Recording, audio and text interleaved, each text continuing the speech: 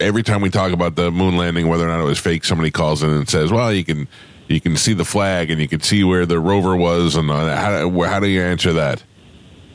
Well, there's no Earth based telescope, according to NASA, that can resolve resolution to any man made artifacts on the moon. Right. Here are the arguments that people use, and I'll refute them just as quickly as I can say them. First, they say it involved hundreds of thousands of contractors. You can't keep a secret from that many people. Well, of course you can't. Do you think the CIA is dumb enough to tell the person making the glove, the door handle, or the boot, hey, we're really not going to the moon? Don't tell anybody. Right. That's like saying what the bank teller at Wells Fargo and the CEO CEO know about the corruption in the bank are identical. They're different.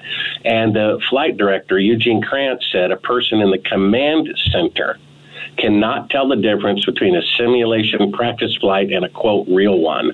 So how could we watching it at home on our living room set? The second argument is that the Russians and the Chinese would have blown the whistle, but that's not true either. They are blackmailing us instead because if they release the information, it becomes valueless. I know someone who works in the Chinese Space Agency. Go to Sibrel.com and you'll watch a video about this. He says everybody there knows the missions were faked. They are blackmailing NASA for space technology in exchange for not blowing the whistle. The third argument is well, there are laser reflectors there we have a Scientific American magazine from 1958 that says they were bouncing lasers off the moon without mirrors in 1958. So all they did is choose a reflective area to choose as the landing sites. And in addition, Russia and China have mirrors there that were put by unmanned probes. And then to say that these little shadows that they claim are the lunar module, you know, from the people who faked the full body images at Cannon Air Force Base, right, of an astronaut standing on a fake moon set is more proof from the fox that stole the chicken, that's laughable. And so there really is not any independent verification of it. India has a claim to have pictures that I believe were either intercepted by NASA and given fake data. Someone did a high resolution magnification of it, and the landers have three legs instead of four, which means they retroactively put something there, you know, to cover their tracks.